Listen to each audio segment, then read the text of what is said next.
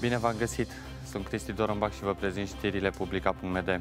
Vremea ploioasă și temperaturile în scădere au determinat autoritățile din Chișinău să dea start sezonului de încălzire.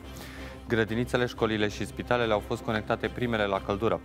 Furnizorul de agent termic a dat asigurări că în maximum două zile toți locuitorii capitalei vor avea căldură în apartamente.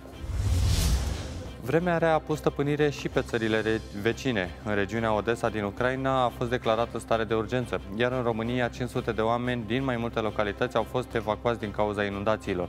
Autoritățile ucrainiene sunt în alertă. În Odessa, vântul și ploile puternice au făcut ravagii. Trei oameni au murit după ce mai mulți copaci și stâlpi de electricitate s-au prăbușit din cauza vântului. Agricultorii pot solicita subvenții până pe 31 octombrie. Sumele care vor depăși limita bugetului disponibil în acest an vor fi autorizate spre plată în 2017. Decizia a fost luată ieri de guvern. Achitarea plăților va fi reluată la solicitarea premierului Pavel Filip.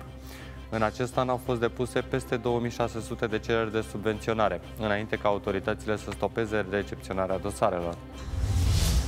Datele personale vor avea un nivel sporit de protecție, iar activitatea Centrului Național pentru Protecția Datelor cu caracter personal va fi eficientizată.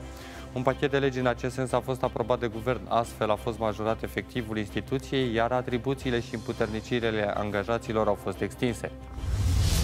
Adunarea Generală a Organizației Națiunilor Unite îl va numi astăzi pe Antonio Guterres în postul de secretar general al organizației. Acesta urmează să intre în funcție în data de 1 ianuarie 2017, când mandatul sud-coreanului Ban Ki-moon va expira. Conform regulamentului intern al ONU, secretarul general este numit de adunarea generală la recomandarea Consiliului de Securitate. Cel puțin o rachetă a fost lansată asupra unui distrugător american în largul Yemenului. Informația a fost confirmată de reprezentanții Ministerului Apărării al Statelor Unite ale Americii. Nava militară nu a fost lovită întrucât au fost luate contramăsuri defensive. Oficialii de la Pentagon au declarat că vor reacționa la acest atac la momentul potrivit și cu mijloacele potrivite. Dacă ați fost martorul unei situații interesante ce poate deveni o știre, așteptăm imagini în secțiunea știrea ta de pe publica.md. Mai multe informații și materiale video găsiți pe publica.md, iar noi ne revedem curând.